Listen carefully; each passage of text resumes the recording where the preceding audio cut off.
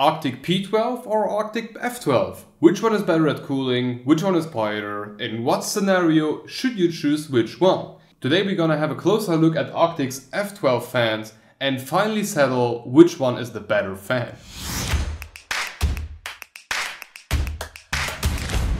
Today's video is sponsored by Lazer3D. Are you bored by today's PC case market cause uh, everything just looks the same? Well, fear no more, your salvation is here. Now you can finally stop buying those boring off-the-shelf cases, fire up Lazer3D's configurator and design exactly the case that you truly deserve. Do you want an extremely small PC? Check. Vented side panels for the GPU? Check. Vented top fan? Check. Hell, let's put vents everywhere.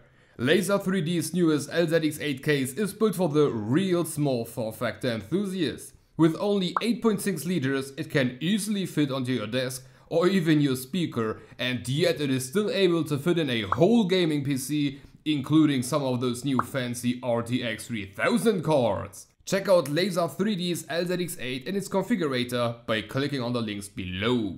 So this is a Arctic F12 PWM PST and just like the P12s there are a number of versions of this fan a standard 3-pin, a silent with reduced fan speed, a PWM version, a temperature controlled version, a PWM PST, so PWM with a daisy chain plug at the end, and a PWM PSTCO version, so PWM with daisy chain and built for constant operations. Whew.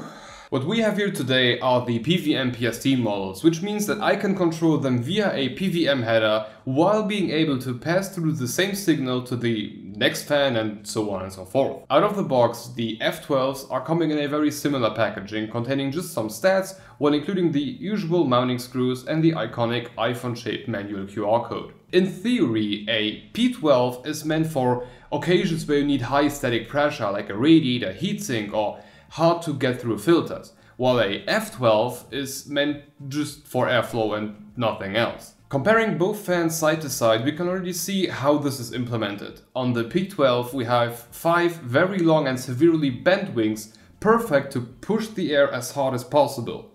On the F12 however, we have 9 way shorter and less bent wings, which are just pushing as much air as possible. If we look at the specs, it gets a bit complicated. The F12s are able to push about 53 CFM at 1mm of H2O while spinning at 1350 RPM, whereas the P12s can push 56.3 CFM at 2.2mm of water and 1800 RPM. Now, if you blindly read those numbers, you might just go better, better, better, but it's not that easy. If we perform some quick math, we'll see that the P12 is able to push 0.031 CFM per rotation, while the F12 can push 0.039. And this is the part where these are airflow focused fans, because both fans are pushing almost the same amount of air, but the F12s are just way more efficient at it. That being said, in the end, it's the absolute performance that counts. So we did multiple benchmarks to see if and at, at what point an F12 may be better suited than a P12. First up would be our usual benchmark inside of the ASA Hive case with two F12s in the front and one in the back as exhaust and a Be Quiet Pure Rock Slim without any fans in order to maximize the fan benefit. In here the F12s spinning at 100% fan speed were able to keep the 3600X at 66 degrees C, perfectly fitting into our expectations at 100% a bit less at lower static pressure, which makes sense. At 50% fan speed, this changed as the F12s were able to keep the 3600X at 80 degrees C, 3 degree lower than a P12. How is this possible? Well, I'm not 100% sure. My best guess is that the amount of air in relation to the fan speed is not like a flat line, but, but more like a curve letting the F12's efficiency kick in and just allow it to push more air than a P12 at 50% fan speed. But I do not own the machinery to test this series, so we will just need to take the numbers as they are. All of that being said, the low fan speed and high efficiency of the P12s point to one thing. A F12 is only meant to provide the cold air, whereas a P12 is in theory, very capable of cooling stuff. But this also means that the benchmark we just did is highly biased towards a P12, so we changed it up. We reinstalled the fan on top of the Be Quiet Pure Rock Slim and let it spin at 20% fan speed. So now the high static pressure by P12 is not that much of a benefit anymore because the CPU fan now handles the heatsink and we are just looking at how much air the case fans are able to provide. While slowly reducing the fan speed, the P12 started off at 59 degrees C and ended up at 81 degrees C. As expected, the F12s started off a bit higher at 63 degrees, but as we reduced the fan speed, their efficiency started to catch up until they overtook the P12s at 30% fan speed.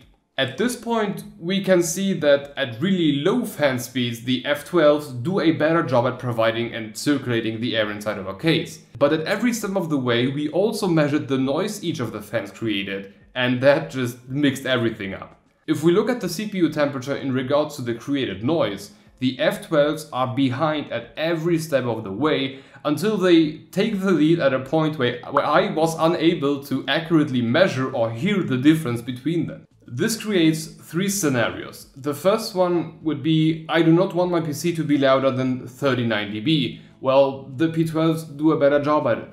The second one would be just blast, where the P12s are winning again.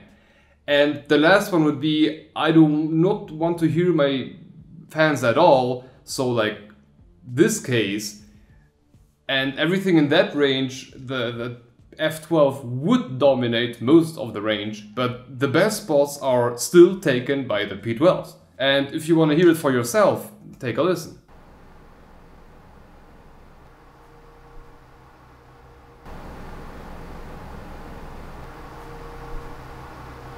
Okay, so don't get me wrong, I am not saying that the F12s are bad fans, they are still a very good bang for the buck.